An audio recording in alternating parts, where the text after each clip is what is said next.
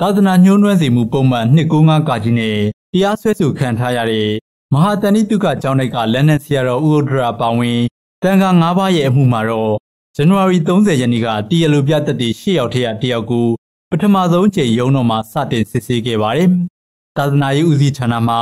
ဘသူတွေကဘသူသဘောတိုင်းလုပ်နေကြတာလဲ။သာသနာရေးဦးစီးဌာနကတရားလိုဖြစ်တဲ့ဦးစိန်မောဟာ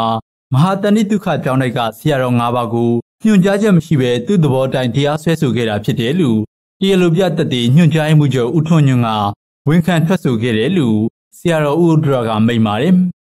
ဒီနေ့မှာတော့သာသနာရေးဦးစီးဌာနကဝိနည်းဆရာရေးရာဌာနရဲ့ညွှန်ကြားမှုဖြစ်တဲ့ဦးထွန်းညွန့်ကိုတရားလိုသက်သေဖြစ်စစ်ပါတယ်စစ်တဲ့အခါမှာသာသနာတော်ကိုညှိုးနွမ်းစေမှု295ကကြီးနဲ့ဒီနိုင်ငံတော်တန်ခါမာနာကအဖွဲ့ရဲ့ တိုင်းတန်ခါနာကအဖွဲ့ရဲ့တိုင်းဝန်ကြီးချုပ်ရဲ့နောက်တကသာသနာ့ဦးစီးဌာနညွှန်ကြားမှုချုပ်တို့က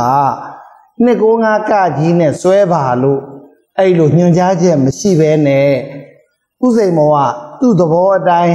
295ကကြီးသာသနာကိုညှိုးနွမ်းစေတဲ့အမှုနဲ့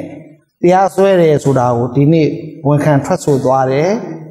နာမဲ့73ရက်နေ့မှာဖေဖော်ဝါရီလ73ရက်နေ့မှာဆက်လက်ပြီးတော့မေးမြန်းအောင်မှာဖြစ်တယ်။ကျန်တဲ့တန်ဃာတော်၄ပါးကလည်းပဲသူ့ရဲ့၄ပါးရဲ့ကိုစားရှစ်နေကြီး၄ယောက်ကလည်းမေးအောင်မှာဖြစ်ပါတယ်။ပုံမှန်295ကကြီးသာသနာညှိုးနွမ်းစေမှုနဲ့ညွှန်ကြားချက်မရှိဘဲတရားစွဲဆိုမှုကိုတိုင်းတရားလွှတ်တော်ကလက်မခံခဲ့တဲ့အကြောင်းလာမယ့်ဖေဖော်ဝါရီ23ရက်နေ့ကျရင်အမှုကိုပြန်လည်စစ်ဆေးမှာဖြစ်ပြီးပြည်နယ်ဆရာတော်ရဲ့တပည့်တန်ဃာတော်တွေရဲ့လုပ်ရက်ကို မဟာတန်ခနိုင်ကအဖွဲ့ထံလုံးကြံပြီးတင်ပြနေတဲ့တောင်မွေကတန်ခနိုင်ကဥက္ကဋ္ဌဦးစနိတာကိုလည်းစစ်ဆေးသွားမယ်လို့မိန့်ပါတယ်။ရန်ကုန်တိုင်းတန်ခနိုင်ကအဖွဲ့ကဥဆောင်ပြီးပြီးခဲ့တဲ့2014ဇွန်လ10ရက်နေ့မှာတောင်မွေမြို့နယ်ကပြည်နယ်ဆရာတော်ဆောက်လုပ်ထားတဲ့မဟာတန်တိဒုက္ခကျောင်းတိုက်ကိုဝင်းရောက်စီးနှင်ခဲ့ပြီးလက်နက်ဆရာတော်ပါဝင်တန်ခါ၅ပါးကိုဖမ်းဆီးပြီးအတ္တမလူဝိလဲစေခဲ့ပါတယ်။အဲဒီနောက်တောင်မွေမြို့နယ်တရားရုံးမှာ သာသနာညှိုးနွမ်းစေမှုပုံမှန်တွေနဲ့စတင်တရားစွဲဆိုခဲ့ပါတယ်